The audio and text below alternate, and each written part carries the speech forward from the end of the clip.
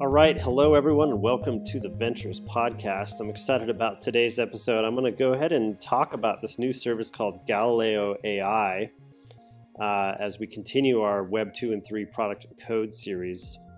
Uh, and then in a little bit, I'm going to talk a little about CSS and write through and walk through some code a little bit. But first, uh, this is a screencast, so if you're listening to this episode, you can visit the link in the, in the show notes to watch the screencast. And if you're watching, you can always switch over to to um, the podcast at any point, you could just search for Ventures in your podcast player and it, it should show up. So, okay, I came across Galileo AI, uh, and in the screencast here, you can see the quick demo. You, you, you type in a prompt, and it will generate in Figma a, a, a UI design so that you can just dream up a, a set of prompts for an application and get a, uh, a, a design. Now, I'm on the waiting list to go check this out.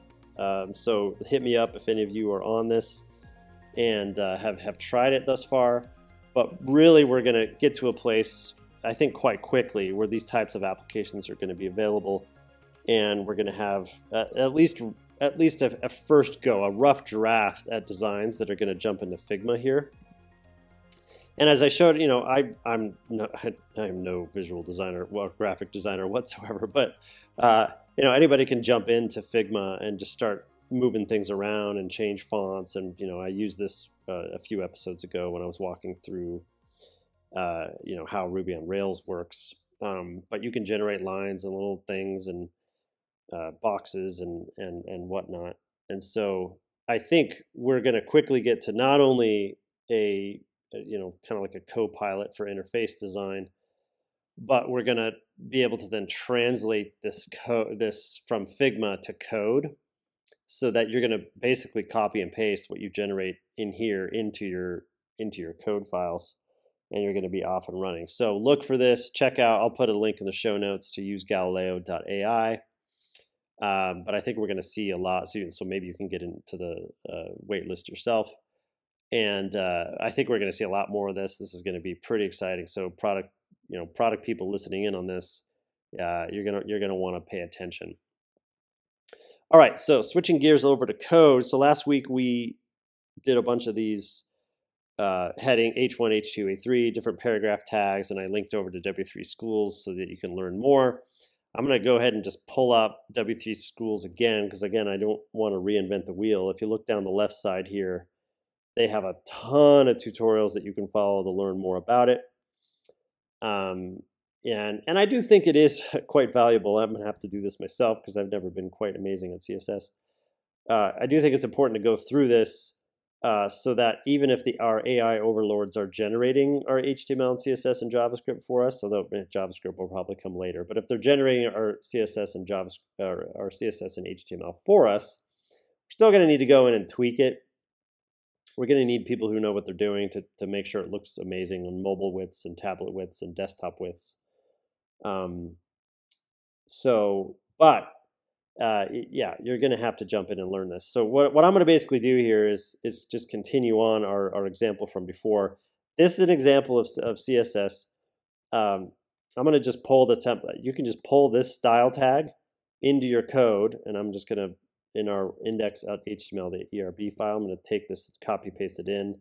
We'll delete this this stuff here, and we'll just copy in exactly what they have, and uh, and see what the difference is in our um, in our example file. So typically, you are going to want to right here, I'll paste it in. You're going to want to index this a little bit. Uh, and I pressed Command and the sort of close bracket key in order to, to index that together like that. That's very common, very common thing to do when you're writing code is to in, uh, index things a bunch like that.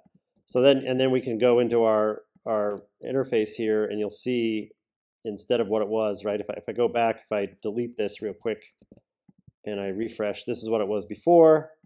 And if I add that stuff back in, it changed the background. It it it centered these tags. It changed it to to white. I don't know why you would do light teal background on white text, but yeah, maybe occasionally you would do that. And um, and you can basically now see if I wanted to change it from light blue, I could just change it to blue and refresh, and it would be darker here. You know, ooh, it's kind of a harsh blue. but you you get the idea. You could change a bunch of the tags. I'm not going to go through it and reinvent the wheel here. You can go through this whole tutorial yourself, which I would highly recommend, and then start playing around with creating elements and changing the visual look of those elements. Uh, and and that's really the beginning of, of a lot of uh, sending you in the direction of being able to create these uh, more complex web applications yourself. All right. Thanks for watching. Thanks for listening. Uh, as always, you can get a hold of me. Just my email is will at wclittle.com. Happy to answer any questions. And uh, have a great rest of your week.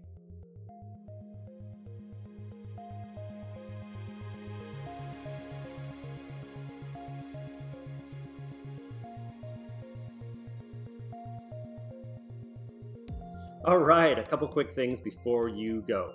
Number one, I have a general newsletter where I write about technology and startups and health science and teaching people to code.